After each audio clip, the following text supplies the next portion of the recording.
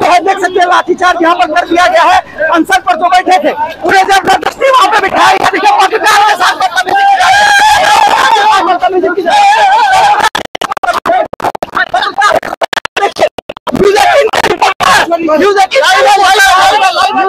Reporter है, वहाँ पर उनके की गई है। की गई है यहाँ पर। मारपीट की गई है। इनके साथ मारपीट की गई है।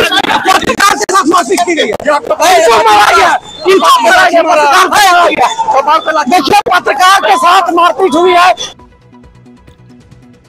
भागलपुर पुलिस का बर्बर चेहरा एक बार फिर सामने आया है। कचहरी चौक पर अनशन पर बैठे बीजेपी के पूर्व जिला अध्यक्ष को हटाने के लिए जमकर लाठीचार्ज किया गया। इस दौरान न्यूज़ कवर कर रहे पत्रकार भी पुलिस वालों ने जमकर पिटाई कर दी।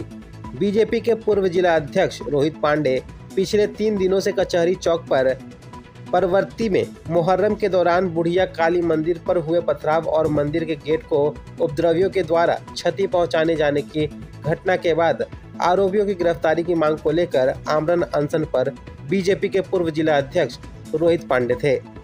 जिन्हें देर रात काफ़ी संख्या में पहुँची पुलिस फोर्स के द्वारा लाठी चार्ज कर हटाया जा रहा था।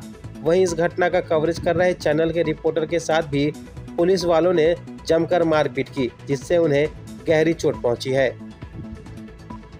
पे बैठे इसका क्या उद्देश्य है? रात में जो है पुलिस यहाँ पर अनशन पर बैठे हुए थे। भाजपा के पूर्व जिला अध्यक्ष रोहित पांडे। उन्हें गिरफ़्तार करने के लिए आई थी और मैं न्यूज़ कवर कर रहा था। इस दौरान पुलिस जो है मेरे साथ बर्बरता पूर्वक व्यवहार किया। पुलिस ने मुझे पीटा है। एक साजिश के साथ षडयंत्र के साथ जो है पूरी प्लानिंग के साथ मुझे पीटा गया है और काफ़ी संख्या में पुलिस वालों ने रैपिड एक्शन फोर्स के जवान और स्थानीय पुलिस ने मुझे पीटा है। गंभीर चोटें मुझे आई है और मेरी मांग है यहाँ के वरीय पदाधिकारी से कि संजय सुधांशु के आदेश पर पुलिस ने लाठीचार्ज की है।